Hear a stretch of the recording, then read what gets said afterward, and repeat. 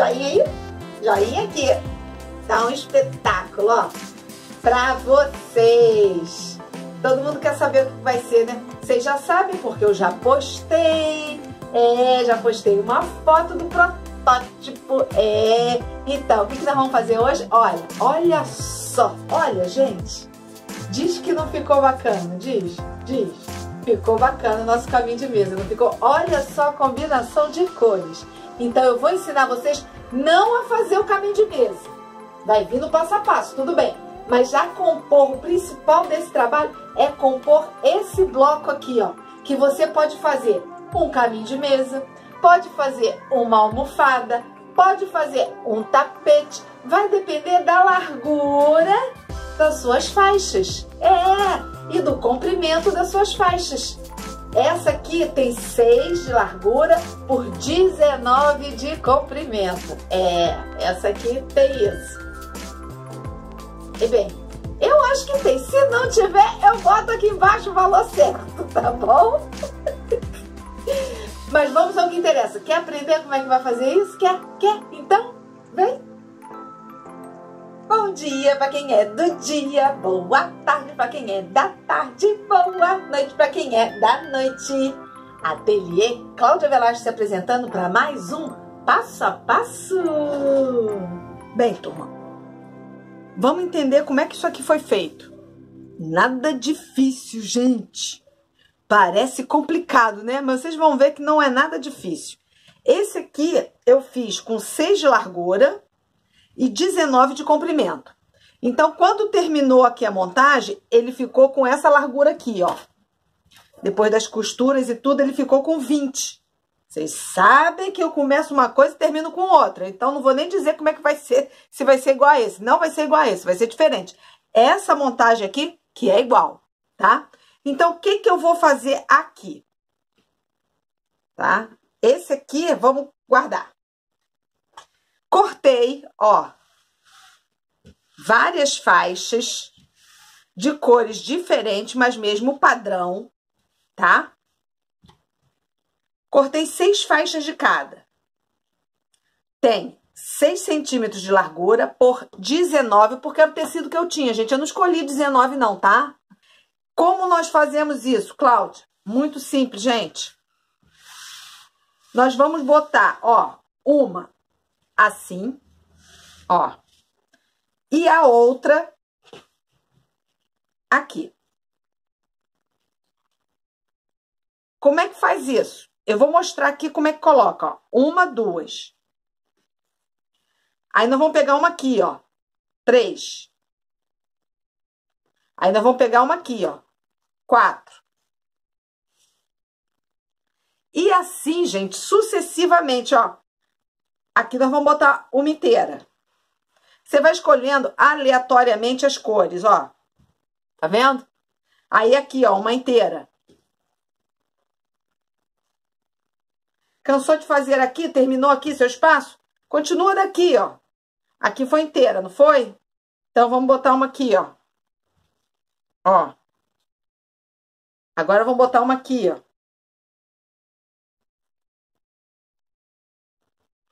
Tá vendo, gente? Bicho sete cabeças? Não tem. Montou todo o esquema que você quer, das cores, viu? Ficou legal, ficou bacana, tá? Foi isso que você fez, não foi? Você não pode começar por aqui. Você vai ter que começar por aqui. Ó, você vai botar esse com esse. Aqui, ó. E vai passar um pezinho de máquina aqui. Feito o pezinho de máquina aqui, gente, vou fazer uma simulação aqui rápida para vocês. Ó. Aqui. Aí virou, né? Ficou assim, não ficou? Ó.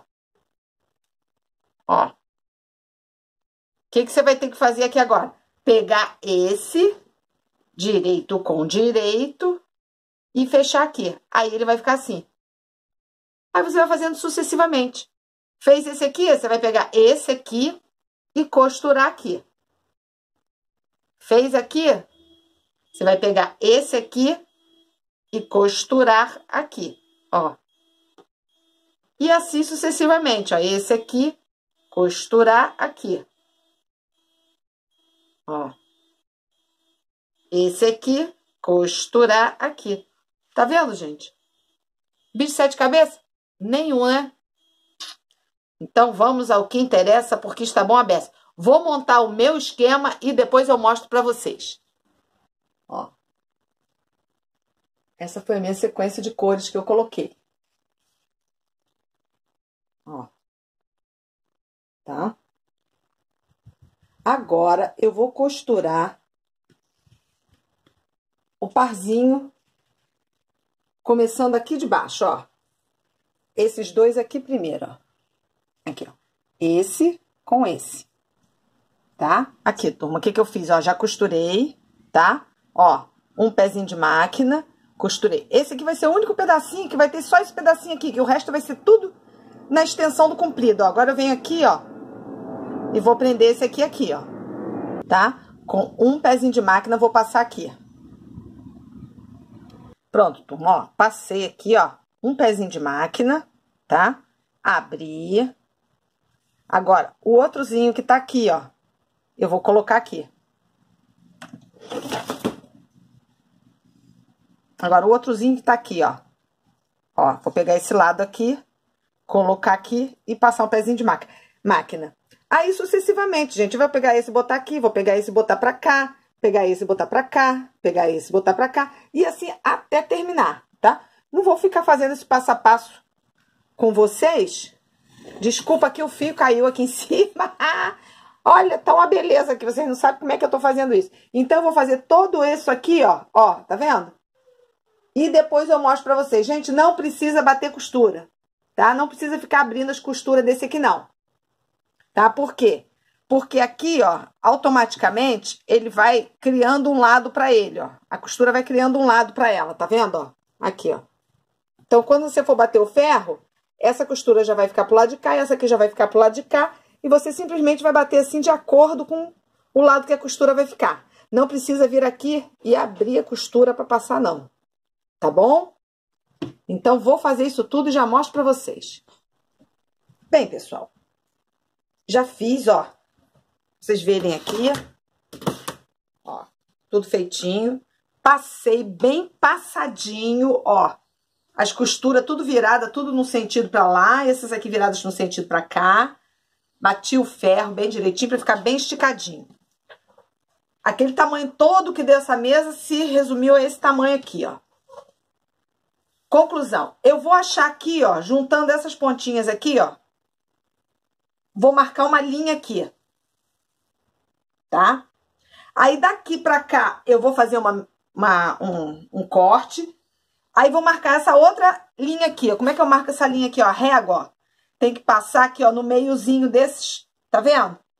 Para eu poder fazer uma linha. Como eu tenho duas réguas, gente, eu vou usar as duas réguas. Vocês só tiverem uma, não tem problema. Marcam aqui, sobem a régua e marquem lá pra cima, tá? Ó, aqui.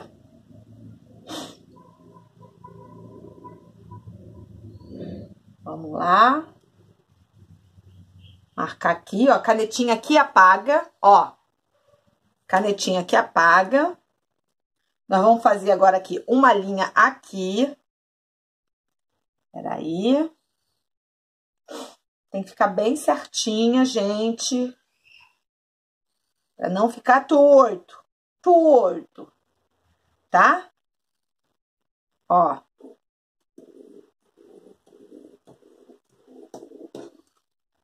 Porque essa linha aqui vai ser o meu parâmetro para cortar as laterais.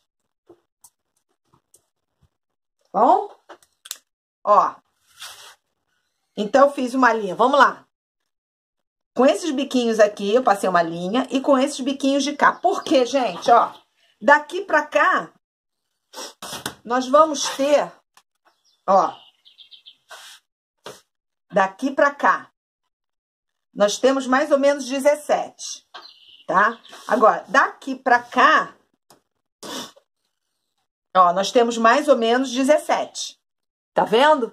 Porque você não pode pegar, fazer uma linha só e botar pra cá 17, pra cá 17, que vai ficar torto. Então, você tem que fazer essas duas, que isso aqui é o meio, tá? Esse aqui é o meio. Aí, você vai botar 17 pra lá e 17 para cá.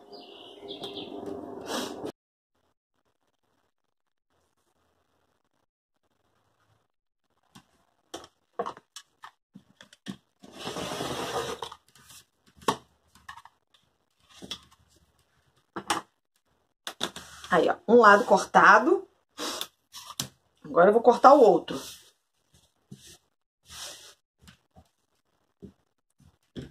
Mesma coisa. Turma, não deixe de compartilhar, se inscrever, dar like, tá? Para que outras pessoas também vejam e aprendam. Não vamos ser egoístas, vamos dividir. Ei! Ó, um e meio para cá, certinho. Parelha a, régua. Ó, gente, o meu deu um e-mail de vocês, pode dar outro valor, tá?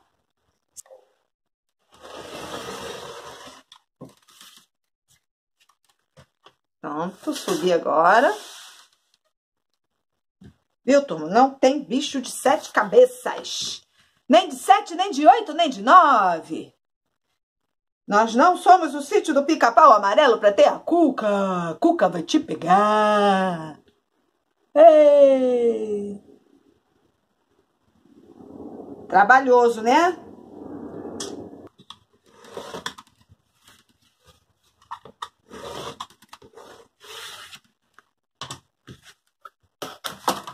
Aí, ó. Ficou um espetáculo, não ficou? Agora, nós vamos acertar aqui embaixo, olha. Baseado nesse aqui, ó. Nós vamos cortar isso aqui reto. Ó. Emparelha aqui, ó. Você ter certeza que tá retinho. Ó.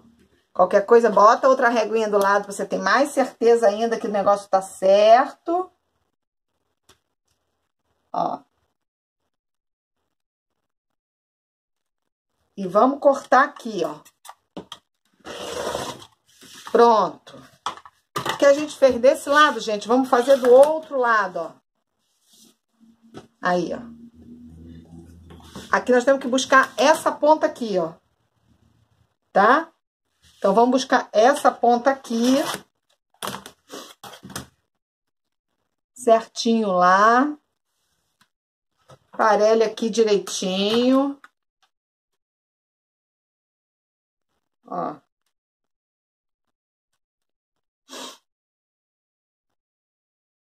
A gente buscar aqui, ó. Pronto. Viu? Ó nosso centro de mesa. Um espetáculo! Maravilha! Lindo! Bonito! Gostoso! Bonitão! Fofão!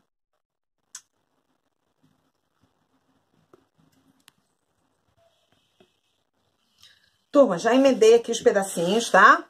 Tranquilo. Já fiz aqui, ó, o pedaço de trás, que é maior do que esse pedaço aqui, para fazer a borda. Senão vai ficar sem borda. Então, o que, que nós vamos fazer agora, ó? Direito com direito, aqui, ó. E nós vamos passar uma costura aqui, tá bom? Então, ó, direito com direito e vamos fechar aqui uma lateral. Já volto para mostrar o resto para vocês. Ó, então, costurei um lado, né, conforme havia mostrado para vocês, fui lá, e costurei o outro. Fiz um canudo, bem comprido. Desse canudo, eu vou desvirar esse canudo, ó. Desvirei o canudo. Agora, eu vou achar aqui, ó, o meio aqui certinho. Pra poder fazer essa borda aqui, ó. Essa borda aqui tem que ser do mesmo tamanho dessa borda aqui. Então, como é que você faz? Acha o meio aqui, dobra, tá? E passa pra vincar direitinho, pra depois a gente fazer o bico. Então, segura aí. Vem, turma, aqui. Fechadinho, direitinho, bonitinho. Agora, nós vamos fazer o biquinho. Eu vou fazer com que o biquinho fique assim, ó, que eu achei melhor, tá? Se você quiser, pode fazer também que o biquinho fique pra cá. Aí é com vocês, tá bom? Então, já que eu quero que o biquinho fique assim, então eu tenho que fazer assim, ó. Tá? Vou costurar assim. Com a parte de dentro, os dois lados. Já mostro pra vocês. Pronto, costurado, tá? Agora é só desvirar, gente, olha. Se quiser, pode cortar esse biquinho aqui, tá bom? Pra não ficar muito tecido do lado de cá. Aí, ó. Aí, agora, o que, que eu vou fazer? Vou passar um pontinho aqui de decoração pra ficar bem bonito. E já mostro como é que ficou pra vocês, tá bom? Segura aí. Nossa. Cheio de pelo, cheio de pelo, cheio de linha, ó, cheio de linha. Dá um espetáculo isso aqui, a farra foi boa! Todo mundo curioso pra saber como é que ficou, né? Esse, esse não, esse não, tá errado, esse não é, esse foi o protótipo. É, que ficou lindo, não ficou? Diz que não ficou lindo. Fala, fala, hein?